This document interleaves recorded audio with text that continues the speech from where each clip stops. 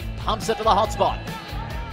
is there. Oh, big mark. Keitel flashing the pack and taking a screamer. Off the half volley, Johnson. High ball, Lewsey. Mark of the day, Jack Lewsey. Peter's got the footy. He's going to send Swan Districts inside forward 50. Oh, it's a mark!